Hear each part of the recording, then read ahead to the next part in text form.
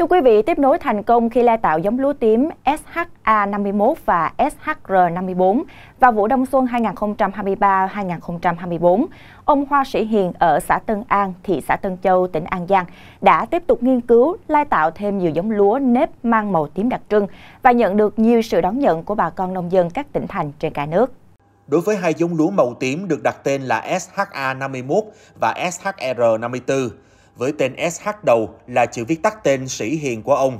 Vào năm 2016, ông đã bắt đầu nghiên cứu lai tạo hai giống này, với giống SHA51 được lai tạo từ giống lúa tím thảo dược Vĩnh Hòa, Nghệ An, với giống khổ chấm lai của đồng bào dân tộc cao nguyên. Giống lúa SHA51 có hạt lúa tròn, màu tím đậm và thơm, cơm dẻo, và giống lúa SHR54, hạt lúa trung bình, cơm lứt đen dẻo và rất thơm.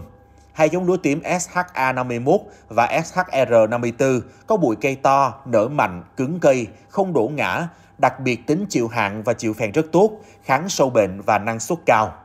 Hiện tại thì tôi đang khảo nghiệm một ờ, gồm có 29 giống, mà trong đó thì có ờ, một cái bộ giống lúa tím thì mình nói riêng lúa tím, cho nó vừa có lúa mà vừa có nếp luôn. Thì ờ, cái cái chẳng hạn như cái tím này đây, nó là lúa, lúa tím thơm, thì à, cái này là tên giống của nó là SHR54 còn à, cái bên cả bên cạnh bên đây là SHA51 là cũng là lúa tím nữa nhưng mà cái hạt của nó tròn.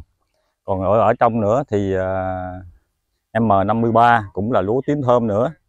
Nhưng mà cái cái cái cái, cái hạt của nó thì nó rất là to à dài. Nhưng mà cái đặc điểm chung của cái dòng lúa tím này thì nó có cái cơm của nó nó nó hơi dẻo.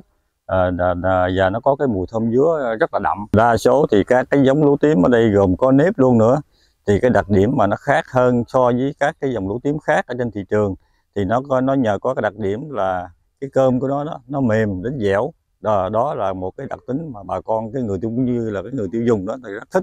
Rồi cái thứ hai nữa là nó rất là dễ trồng và dễ chăm sóc. Nó có cái thời gian ổn định là 90 ờ, là đến 95 ngày thằng nào cao lắm là, là 100 ngày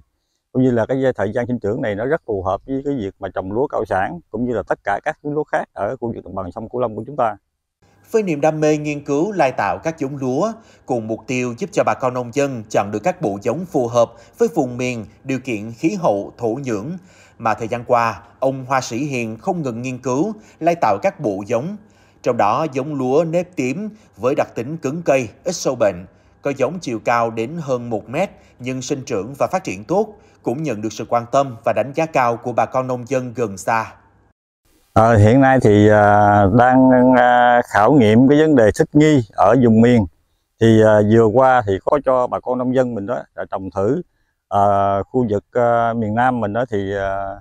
rất là dễ. À, hầu như là các giống lúa tím này đều trồng được hết. Tôi nghe cũng có một số bà con phản ánh lại á, thì cái gạo này nó rất là ngon, ngon hơn các cái dòng lúa tím khác. Cho nên đó là ra ta ra được cái hạt gạo mà đến cái tay của cái người uh, tiêu dùng cũng như là bà con tiêu dùng đó thì nghe đâu là cái số gạo nó cũng cũng trên dưới khoảng 40 đến đến 50 ngàn một ký đó. khảo nghiệm so sánh cái hậu kỳ sau khi lai lần này thì uh, cũng có một số uh, mà bà, bà con ở xa cũng như là các bạn là công ty hay là các tổ giống đó người ta đã đặt hàng trước rồi cho nên vụ này là xong là tôi sẽ chuyển giao đến cho bà con đó người ta đem đi xin phép và sản xuất thử uh, cái bộ giống lúa tím này ở mọi ờ, vùng miền cũng như là cũng như là các uh, cái tỉnh khu vực đồng bằng sông Cửu Long này.